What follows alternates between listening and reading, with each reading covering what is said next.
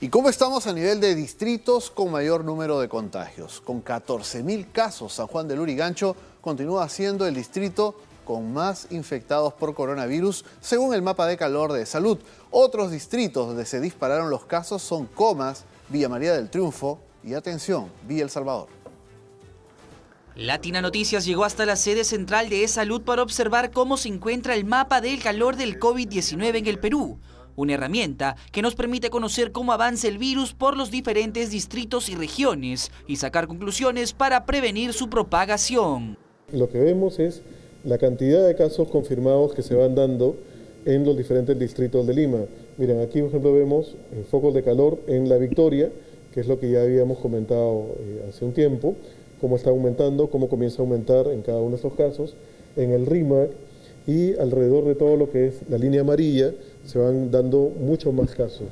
Dante Cerso, jefe de la Unidad de Inteligencia y Análisis de Datos de Salud, indicó que esta herramienta ha permitido conocer qué distritos de la capital vienen aumentando sus casos de COVID-19, pero a la vez, quienes presentan mejorías.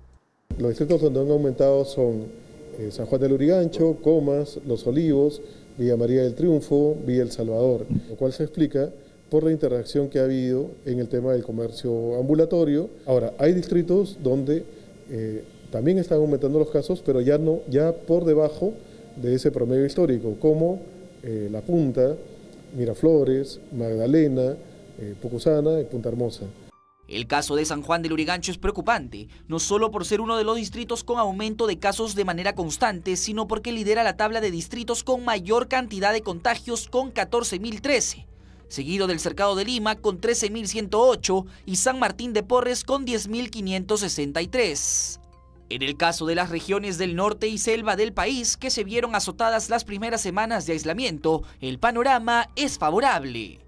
En el departamento de Lambayeque lo que se tuvo es un incremento de casos. Miren, teníamos eh, cerca de 1.000, llegamos a, eh, a un pico de más de 2.600 casos y actualmente ya estamos eh, cerca de los, de los mil casos confirmados. Es decir, se ha reducido esta tendencia y también, lo más importante, el número de fallecidos. Miren, llegamos a más de 150 fallecidos hace unas... Hace, semana nueve, Sí, hace varias semanas, desde el inicio de la pandemia, y ahora tenemos eh, cerca de 30 casos, ¿no? 31 casos de fallecidos.